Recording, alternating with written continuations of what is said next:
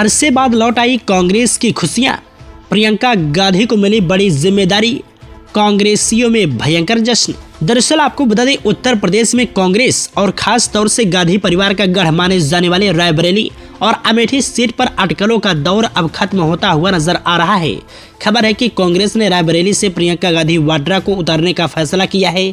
साथ ही राहुल गांधी, अमेठी और वायनाड दोनों ही सीटों से लड़ेंगे। फ़िलहाल इसका आधिकारिक ऐलान होना अभी भी बाकी है। एनडीटीवी की रिपोर्ट में सूत्रों के हवाले से बताया गया है कि प्रियंका गांधी रायबरेली सीट से चुनाव डेब्यू करने जा रही हैं।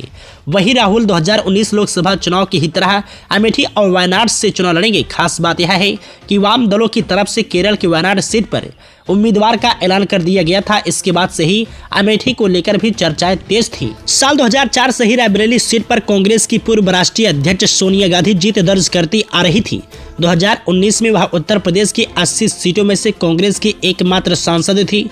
इस बार उन्होंने राजस्थान से राज्यसभा का रुख किया। हालाँकि कहा जा रहा है कि अमेठी की जनता के नाम लिखे पत्र में उन्होंने पहले ही गांधी परिवार से ही उम्मीदवार होने के संकेत दिए थे।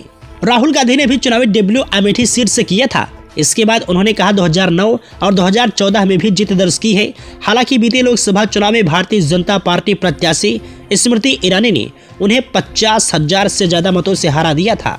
इसी के साथ आपको बता दें, भारतीय जनता पार्टी ने बीते शनिवार को ही एक सौ पंचानवे उम्मीदवारों की पहली लिस्ट जारी कर दी है। इसमें अमेठी का नाम भी शामिल है, जहाँ से भाजपा ने एक बार फिर केंद्रीय मंत्री स्मृति ईरानी को मौका दिया है। हालाँकि अब तक रायबरेली से उम्मीदवारों के नाम का ऐलान नहीं किया है। पहले अटकलें लगाई जा रही थी कि इस सीट से भाजपा मनोज पांडे को मौका दे सकती है। फ़िलहाल इसे लेकर आधिकारिक तौर पर कुछ नहीं कहा गया है।